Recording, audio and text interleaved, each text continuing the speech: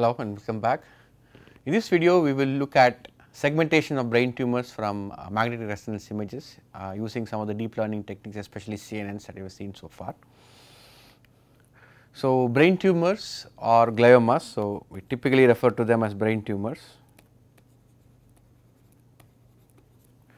They affect the central nervous system or they usually are in the brain and this is a serious illness uh, form of cancer which has very poor prognosis in the sense the survival is less than 2 years and the, the patients are typically monitored by magnetic resonance imaging also referred to as MRI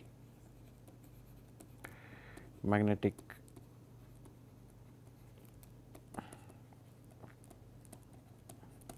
or MR imaging or MRI as it is known as. Um, it is a like all imaging techniques, most imaging techniques, it is non-invasive, non-ionizing radiation is used, basically a magnetic field and you have RF excitation that is that is what enables the imaging. It has very good spatial and temporal sub-millimeter spatial resolution and in this case temporal resolution in this case is not very important, but spatial resolution is good. So, the idea behind imaging these patients is that uh, by imaging them you can visualize the tumor non-invasively and by, by looking at the tumor measuring its size one can doctors usually use that as a uh, as a marker for figuring out if the tumor is progressing or if it is responding to medication in this case treatment. So, the segmentation or delineating the pixels corresponding to the tumor is an important task diagnostic task that way. It is typically done manually with an by an expert radiologist However, it can be very time consuming there is some vari variability among the radiologists uh, on certain tasks. And if you have very large patient database, if you want to do like a meta analysis or anything, then manual delineation is exactly not uh, possible. So, in order to augment a radiologist's effort, it is uh, a, a, deep learning program that can uh, effectively segment the gliomas can be a very valuable tool. So, typically not one image is acquired, but uh, volumes are acquired. So, typically MR image volumes MRI a call MRI image volumes are acquired. We will not go into the details of the acquisition or the physics behind the acquisition, these are image volumes. When I say image volumes, they are basically 3D arrays. So, each image is a 3D array. So, typically you would say uh, 256 cross 256 cross 100 okay. Okay. So this is the in plane size and this is the depth. Okay. So it acquires the um, across the anatomy. Okay. So and in every in the form of slices. Okay. So the in terms as, as far as MR is concerned MR imaging is concerned multiple image volumes are acquired and each image volume corresponds to what is known as a sequence. Uh, this is a this is this each sequence corresponds to a certain technique or a certain way of exciting the spins inside the human body, exciting the magnetic spins inside the human body. So, um, that each of them give rise to a separate kind of grayscale contrast in the image. So, if you look here we have shown three types of MR images corresponding to the same anatomy I am just scrolling through the anatomy uh, automatically and you can see that each of them uh, we do not worry about the meaning of these things right now, but you can see that each of these images even if they pass through the same anatomy they have a different grayscale contrast. Okay. So, uh, multiple different types of contrasts are possible uh, using MR images. So, for a typical uh, glioma imaging session you will typically you will acquire about 4 such sequences and each sequence will have size of 256 or 56 times 100 uh, where 100 is the number of slices through the anatomy. If you are wondering where that 100 comes from, so let us say there is a typical human head right here, okay. So, brains right here somewhere. So, you would acquire slices which cut through the brain okay, or the head so that you cover the entire brain or the entire head in this case. Okay. So, uh, just reiterate every MR image is actually a volume, it is a 3D array and you will acquire about typically about 4 such 3D arrays per patient uh, for diagnosing gliomas. So, typically a glioma um, this is with, uh, in line with some conventions that have been laid out. It is divided into these 4 sub compartments this edema, necrosis, enhancing tumor and non-enhancing tumor. If you see the image below, if you see in this image the tumor is delineated this way kind of right. The green regions are basically what is known as edema which is uh, some fluid or water accumulation okay. And this also tells you why we need 4 different sequences because certain components of the tumor are seen much more clearly in certain sequences. So, for edema is seen very well in FLAIR and T2 the necrotic region where the dead cells accumulate is seen very well in T1 post contrast or T1C is always referred to as T1C. The enhancing tumor also which indicates break, breakdown of blood brain barrier is seen in the T1 again seen in T1C. So, if you look here the enhancing tumor is these regions marked marked in color okay. The non the necrotic regions are once again marked by different color here in another sequence. Um, non-enhancing regions are those regions which are neither of the three. Okay. And again there is some variability among radiologists as to what these regions are. Okay.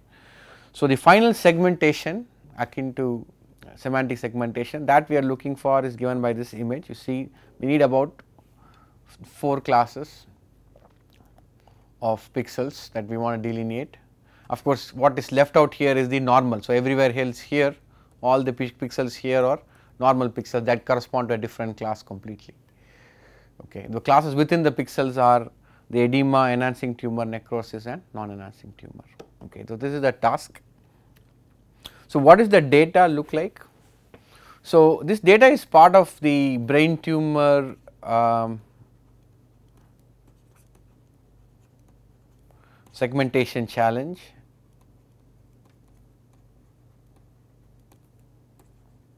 which is uh, conducted every year as part of the medical imaging conference called MICCAI, M-I-C-C-A-I, okay. It is conducted every year um, in some in a different city in the world.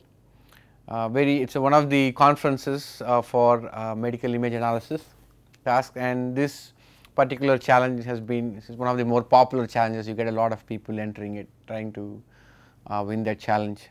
Um, so, its acronym is BRATS. So, the data set um, is publicly available, it is a multicentric data set. So, uh, to elaborate it briefly, it is multicentric because MR imaging um, is the, the grayscale values or the contrast that you see in the values and some of the artifacts or shading that you get in the images vary from scanner to scanner and from hospital to hospital. So, it's important to get data from different scanners or different centers like different hospitals.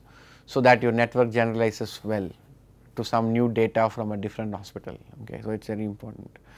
Um, there are two types of gliomas low and high grade. Okay. So, high grade glioma is the more uh, serious uh, condition. Of course, typically most low grade gliomas progress to high grade gliomas. We are not talking about diagnosis here just to so just to understand that there are two types of them and the uh, tumors in them do look different. So, it is important to understand that they are indeed different delineations required. Um, and so, in the sense that when I say they do look, they do look different, um, if you train a network on high grade glioma, it is quite possibly not going to work very well on the low grade glioma. That is what I mean by different, not.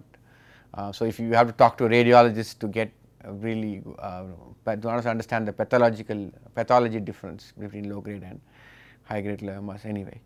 Um, so, each patient volume consists of 4 different volumes from 4 different sequences. Okay.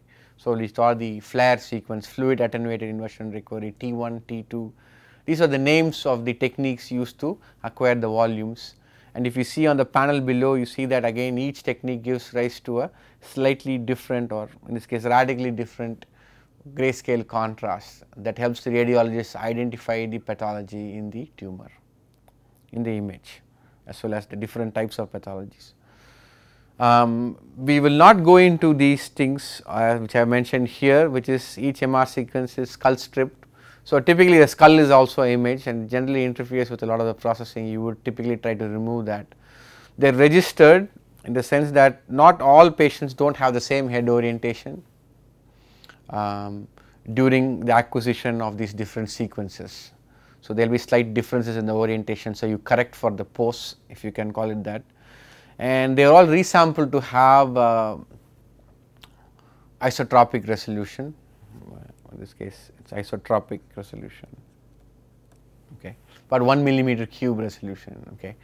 The dimension of each data set that is each volume so you have 4 volumes each of size 240 cross 240 cross 155 okay.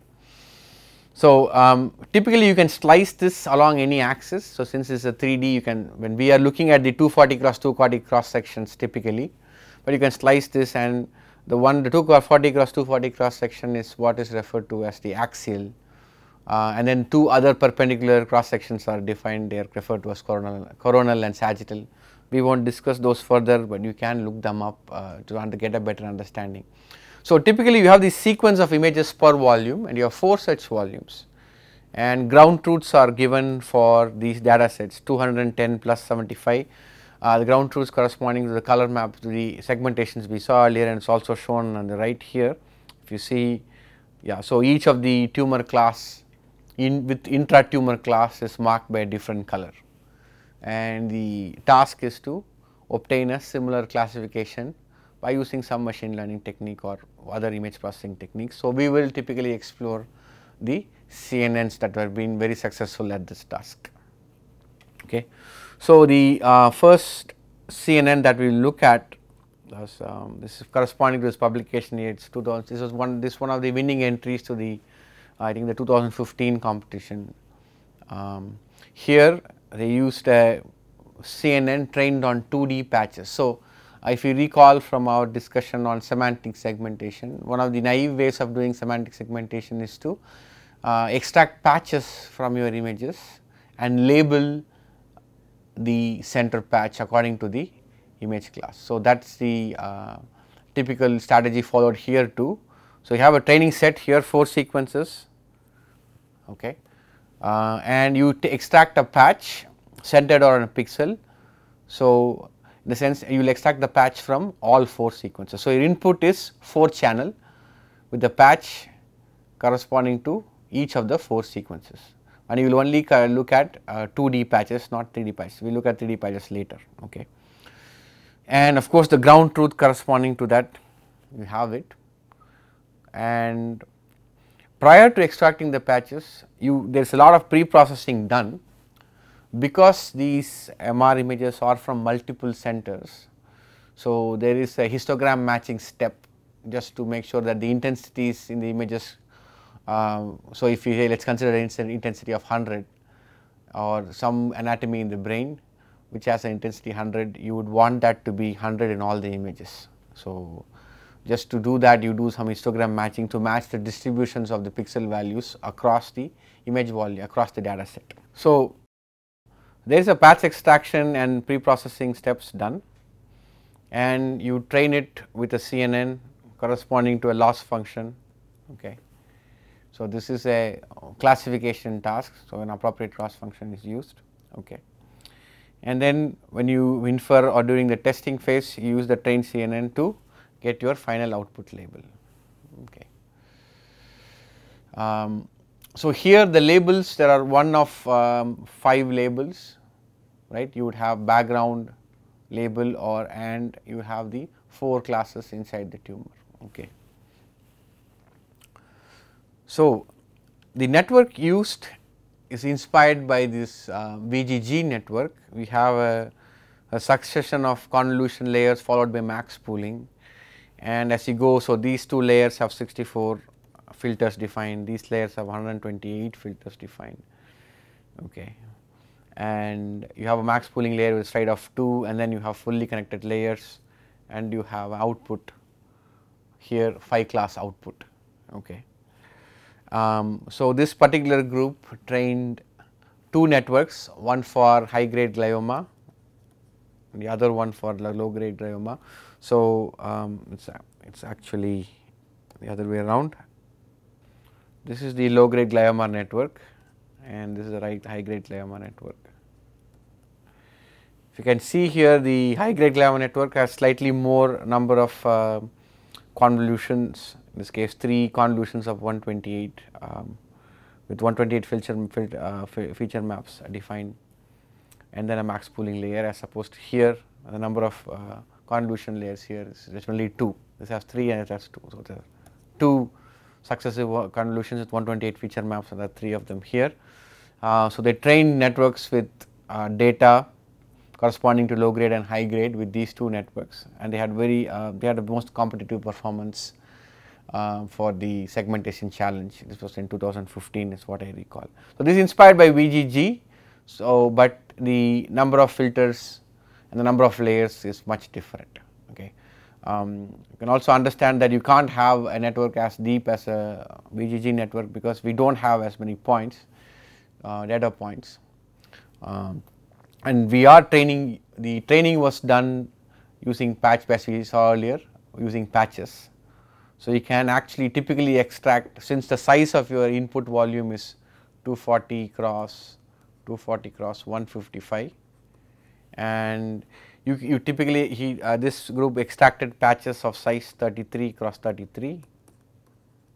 Of course, there are 4 sequences. So, your input has 4 channels with patches of size 33 cross 33 extracted from each of the sequences stacked together that is your input.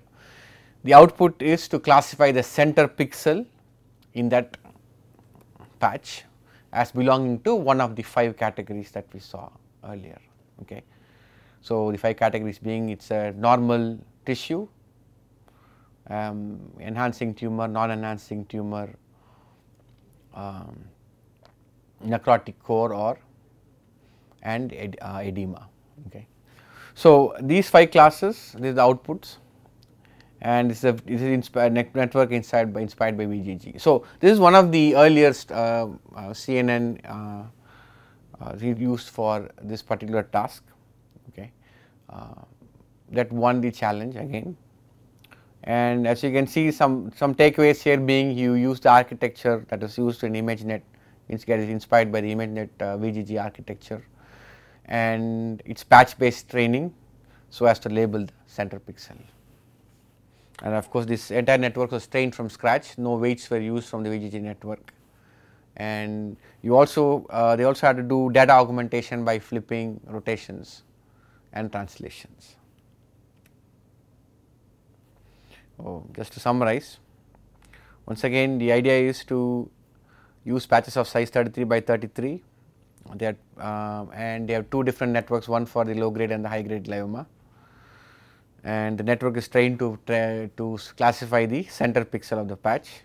And following that there is something called connected component analysis wherein you retain the largest connected component of pixels. Connectivity is defined as 4 or 8 connectivity. So, if you have a grid let us say this case easier on 3 by 3 grid. So, all the if you label these pixels of belonging to a, a class right uh, they are all connected so you retain them. Let us say somewhere else in the image you have one isolated pixel and you typically tend to ignore it. Okay.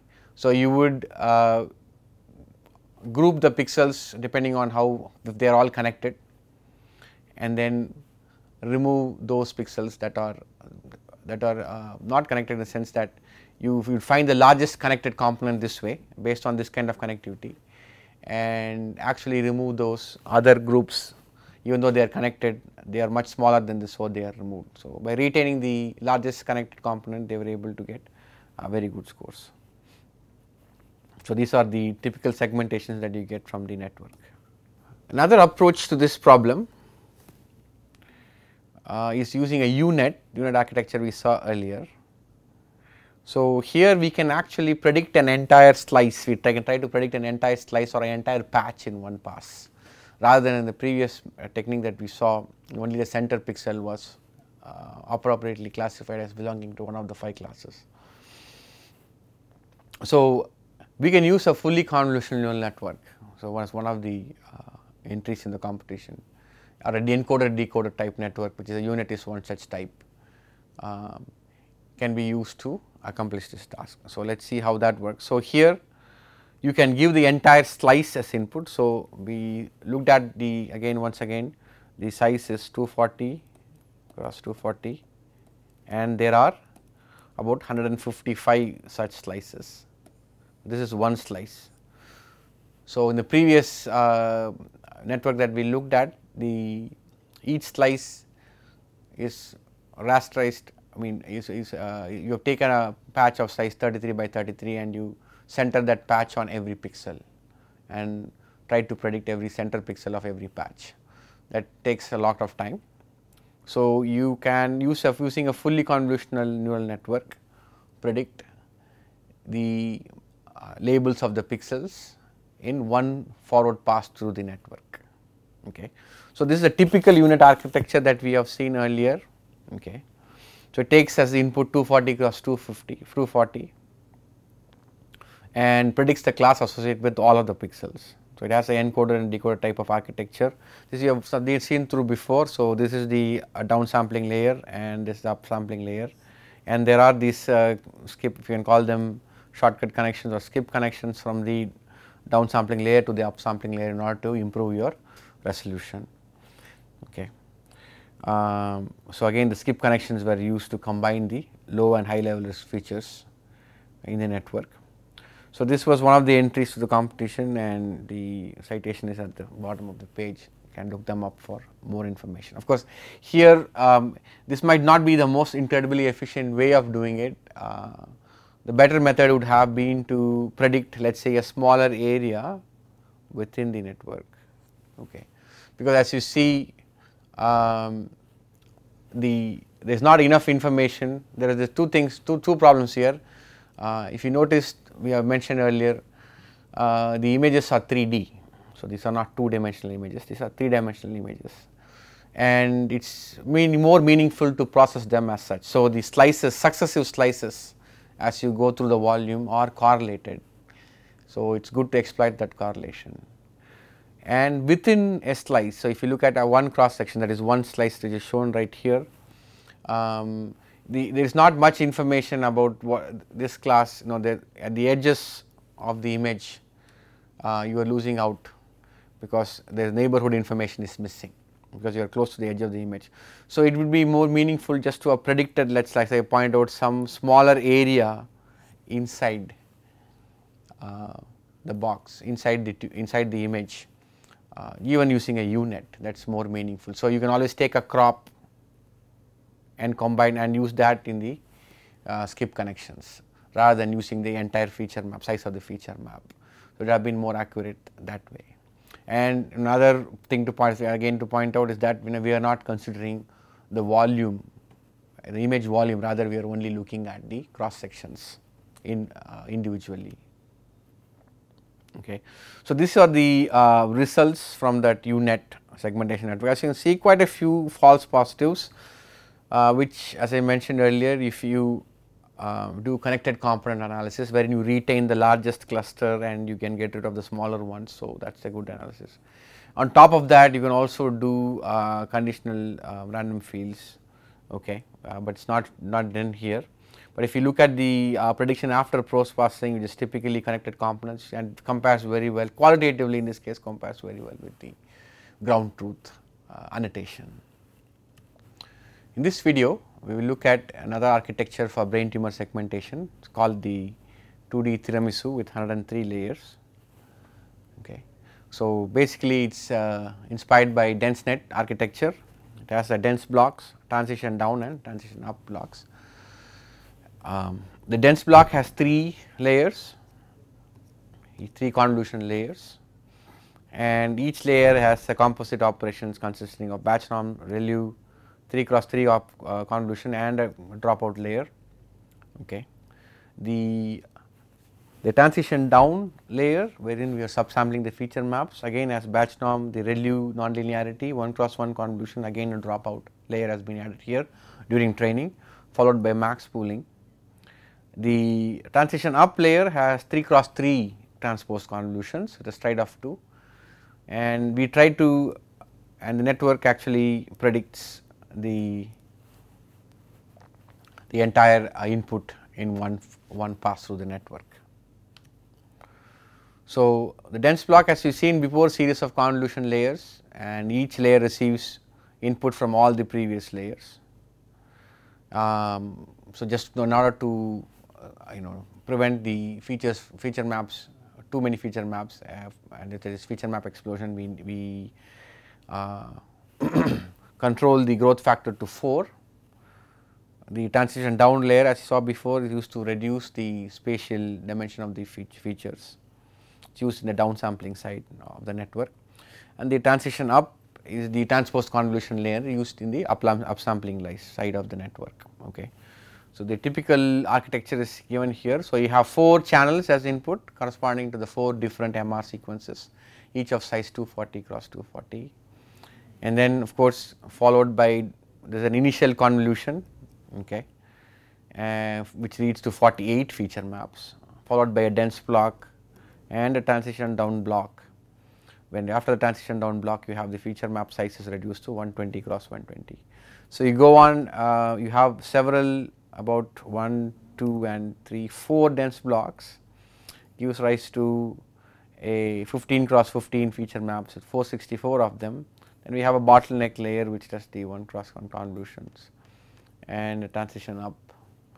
And then okay again we go through the transition up layers which has again has 1, 2, 3, 4 dense blocks in between with and interspersed with transition up blocks to get an output of which has a 3 in this case we are predicting 3 uh, classes and you can do an argmax across the, across the classes to get a 240 cross 240 output.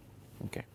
The reason uh, why this is there are only 3 classes instead of the 5 we saw earlier is because some of the classes were merged uh, in this version of the uh, segmentation challenge. So, we ended up predicting 3 classes.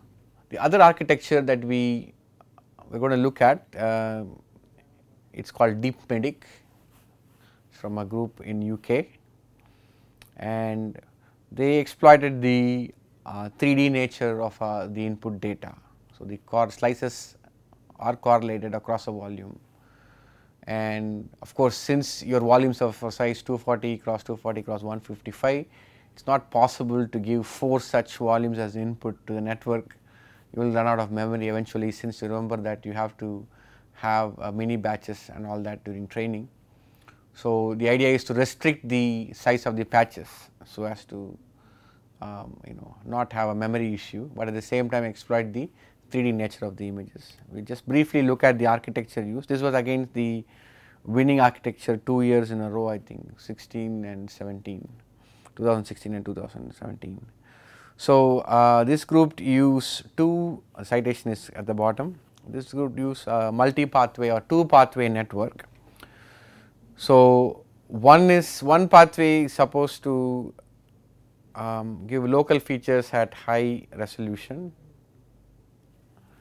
and the other one gives global features at low resolution. So, the local features are learned from 3D cubes of size 25, so 25 cube and 4 such channels. Well, the global features are learned from patches of size 51, but then resized to 19 cube. So, the large green box is the size of the 51 cube size 51 size patch, but then it is resampled to 19 okay, but it is a 19 cross 19 cross 9 volume from inside the image. For there are 4 channels you have 4 such cubes and then you have sequence of convolutions and then there are also in between there is there are these uh, uh, ResNet residual layers like in the net ResNet uh, architecture and then finally this the lower the glo, uh, the lower uh, pathway which is the global feature pathway is upsampled and concatenated and then you have the usual convolution or fully connected layers which leads to uh, and the usual fully convolutional layers which leads to an output of size 9 cubed. So, the output size is 9 cubed. So, you are taking a very large context which is typically 25 cubed and you are predicting 9 cube out of it of course, there are 5 classes, so you have 5 cross 9 cubed outputs, each giving the probability of that particular class. So, this architecture um, was very efficient and it won the challenge 2 years in a row.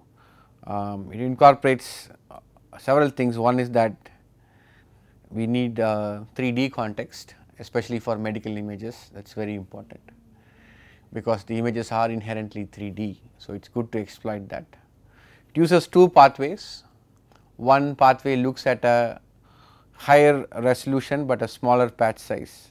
The other pathway looks at a lower resolution or the global features, uh, but at a, with a bigger patch size. So, you resize the 51 patch to a 19 cubed and you do a sequence of convolutions, max poolings as well as um, these uh, skip uh, residual connections to improve training. And so, this particular architecture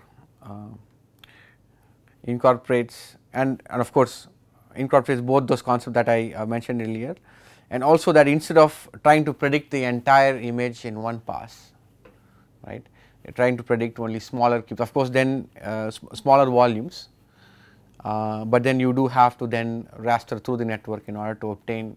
So, uh, it is not one pass to get the entire volume, but multiple passes because you are only eventually predicting a 9 cubed. Okay, so, you are predicting a small subset of pixels inside your patch that you have taken, but then you are considering information from from a very large neighborhood of the patch that can and that is easily handled by the network. Um, they also have the conditional random field uh, regularizer at the after the predictions. So, if you look at what you have seen these images show the manual um, this is the ground truth and this is the net output predicted by the network. Okay. So, uh, the CRF is used to regularize your uh, output predictions. So, uh, that is one of the other uh, novelties in this particular submission. So, um, a variation of that not like in the sense of just using 3D patches is the 3D tiramisu network. Okay. Building blocks are very similar to the 2D variant however, uh, the patches are 3D in nature. So, instead of using the entire 2D volume as input you take 64 cube patches as input and you try to predict all of them in one pass through the network. Okay.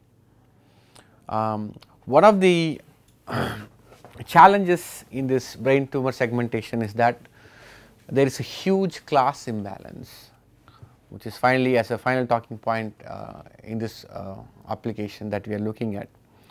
So, if you typically look at these images you will find out that you know some classes are wholly underrepresented. So, for instance the non-enhancing tumor or the necrotic core comprises of a very small number of pixels corresponding to the tumor itself. Now, if you consider the tumor itself, it occupies a very small volume in the entire brain. So, less than 5 percent, I am being it's a very conservative estimate, less than 5 percent of the tumor in the brain actually corresponds to the uh, corresponds to the tumor. Okay. So, that is the class imbalance. So, if you are trying to do a pixel wise classification, you see that most pixels are normal right and a very small percentage of the pixels actually comprise the tumor itself and within the tumor itself there are these classes which are very underrepresented okay.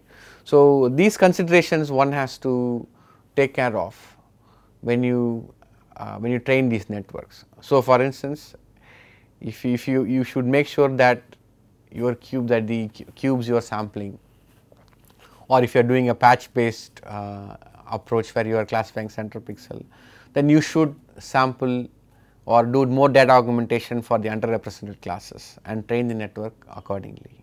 Okay. So, all the networks we have seen so far using either 3D patches um, will suffer from it to varying, varying degrees. So, the advantage with using 3D patches is that this um, class imbalance is slightly alleviated because if you are looking at a slightly large volume through the tumor then the volume will contain enough samples of every class that is a general uh, uh, observation that we can make. So, doing 3D sampling, doing 3D patches for medical image unless in this problem at least the problem that we are looking at alleviates the class imbalance problem to some extent. So, of course, you can always take you can always sample so that you have the under underrepresented classes have more samples to match those classes that are overrepresented.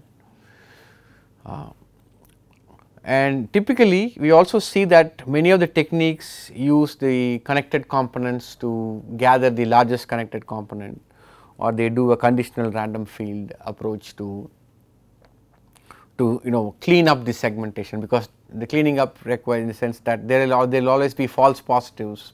Some pixels uh, some small clusters of pixels or groups of pixels being labeled as um, as, as tumors when when they are actually normal so, if you want to uh, remove those then you can either do a connected component or a CRF. CRF takes into account the context, so uh, that is a better way of doing it. But most research groups aim at not trying to do this uh, post processing and rather just use the output from the network itself as the final result. Okay. So, you can see the impact of um, uh, the post processing here on this particular segmentation. Um, so, if you look at the uh, post processing, so this is a post process image that this particular small region has been removed corresponding to a, one of the classes and it matches very well with the ground truth right here. So, post processing does help improve your score a bit and when you are doing this uh, cube uh, 64 cube patches uh, the stride at which you sample also seems to help uh, the overlap the stride with the overlap in this case 32 um, especially found to be useful for classification classifying the boundary voxels in the patches. Um, so, segmentation with stride seem to be more smoother than unstrided approach. So, that is something that uh, uh, we have observed in our experience. So, post processing is of, is of course necessary in many cases depending on how accurate your network is and the amount of false positives that it generates. That is an important aspect of the processing pipeline. So, that concludes our case study. We were looking at using convolutional neural networks for analyzing medical images specifically to segment uh, brain tumors from MR volumes. A particularly challenging problem since uh, brain tumor is diffuse, there are no clear cut boundaries in many cases and the problem also involves segmenting subclasses from the tumor which are again not that well defined in many cases. The size of the data set is also a challenge since these are three inherently 3D data and every patient or every data point is actually made up of 3 volumes or, or 3 or sorry 4 volumes um, and how to extract patches from those volumes whether 3D or 2D and train them also uh, to do the inference uh, more efficiently. So that you know if you if you get a patient volume you should be able to do that in a reasonable time um, that is also an important requirement both accuracy and efficiency in computation.